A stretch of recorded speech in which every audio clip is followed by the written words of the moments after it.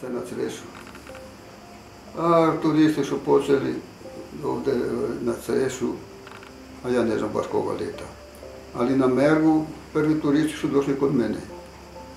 Oni smo imali jednu kućicu i to su većinom bili iz Rijeke, Fjumani, budu došli. Onda neki Italijan bude došao. I to bude za bagatelju, malo, malo za šolti, malo tako. I to se pomalo razvila, razvija, razvija i sad je, sad je selo ima puno apartmana i dolaze stranci svakovih.